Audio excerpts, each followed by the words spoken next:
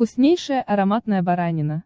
С румяной картошкой и жареными помидорами, с белым вином и пряными травами. Замечательная идея для воскресного обеда или ужина. Приготовьте и убедитесь, что это совсем не сложно. Баранина получается нежнейшей, а аромат блюда.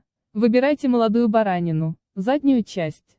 И попросите сразу нарубить мясо порционными кусками, так вы сэкономите время и силы. Удачи в приготовлении! Баранину промойте ледяной водой и хорошо просушите салфетками. Посыпьте розмарином и крупно растолченным черным перцем.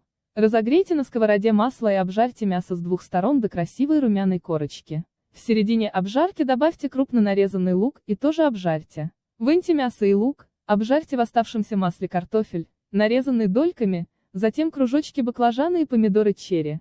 Выложите овощи на тарелку, верните в сковороду баранину и залейте ее белым сухим вином. Доведите до кипения на сильном огне, через пару минут убавьте огонь до минимума. Посолите мясо и приправьте миксом специй для баранины с кориандром. Тушите мясо до выпаривания жидкости, пару раз перевернув куски. Верните овощи к мясу, досолите по вкусу, аккуратно перемешайте, прогрейте вместе минут 5.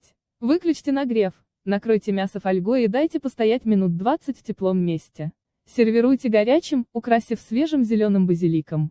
К мясу подайте красное сухое вино.